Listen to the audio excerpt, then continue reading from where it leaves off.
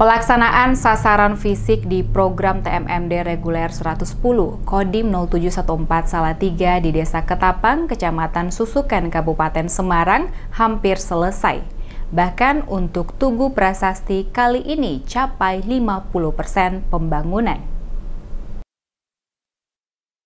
Sampai dengan saat ini, program TMMD reguler ke-110 yang dilaksanakan di Desa Ketapang, Dusun Sari Mulyo, Kecamatan Susukan hampir sepenuhnya rampung. Seperti halnya prasasti yang dibangun di salah satu sudut jalan dusun tersebut. Saat ini telah memasuki proses 50 persen.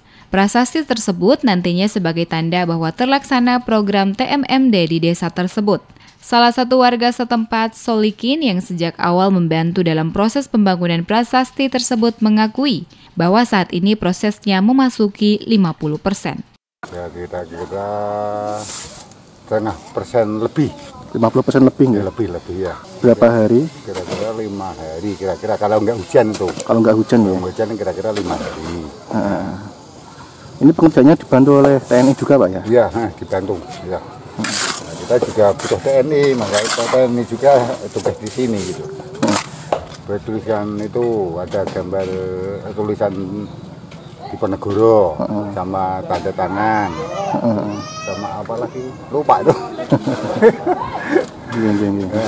nah, inti tenaga dua orang. Saya sendiri sama kawan tuh Pak RW nah, dibantu sama TNI kalau yang gambar itu arsitek Bapak Madi, Madi um, Ambarawa itu.